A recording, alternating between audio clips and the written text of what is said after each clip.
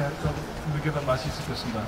그 다음은 우리 어, 스트라우스라는 작곡가가 크게 둘이 있습니다. 한 사람은 나중에 이제 왈츠를 많이 쓴 요한 스트라우스가 있고 물론 아버지도 있고 아들도 있고 형동생도 있지만 이번에는 리하르트 스트라우스라고 현대 작곡가가 쓴 호른 협주곡입니다. 호른이라는 악기는 아, 기네스북에 가장 어려운 악기로 들어가 있는 게 이 호른입니다. 여러분들 이 호른이 어떤 소리를 내는지 한번 아주 씩씩한 것을 들어보시기 바랍니다.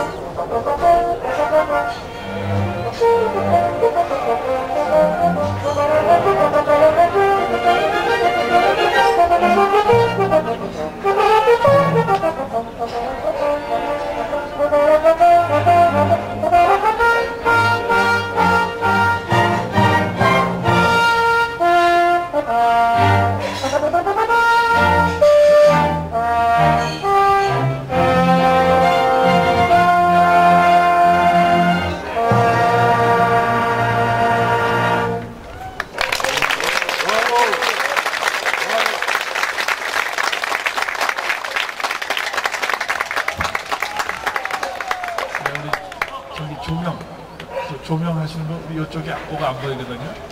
요 불을 좀 옮겨서 이쪽 불을 좀 밝혀줘야 될 것 같아요. 비슷하게 옮기세요.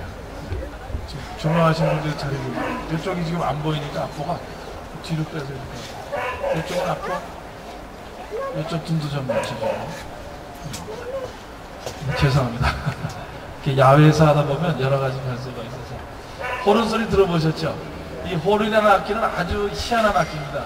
우리 오케스트라가 현악기와 목관악기와 금관악기 다 악기가 있는데 이 호른이 현악기와 목관악기를 연결시켜주는 역할도 하고 목관악기와 금관악기를 연결시켜주는 역할도 합니다. 그래서 들어보신 대로 아주 부드럽기도 하고 아주 씩씩하기도 하고 그 다음에 음력이 상당히 넓습니다. 그래서 아주 특히 특이한 악기인데 그래서 잘 부르기가 굉장히 어려운 악기. 우리 최혁진 수석은 저희가 뭐 특진하던데 대한민국에서 탑